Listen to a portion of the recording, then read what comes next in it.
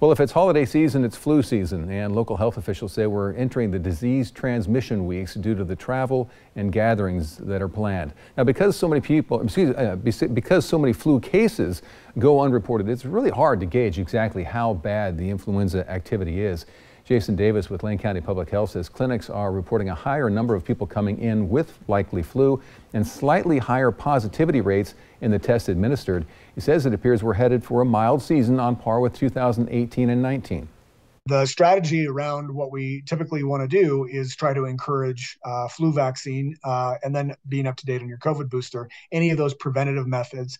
Um, and then obviously, if you are a person who are, is experiencing symptoms, it's a tough call, but boy, you'd be saving a lot of people a lot of misery and our overall community if you just either wear a mask or skip the holiday celebration.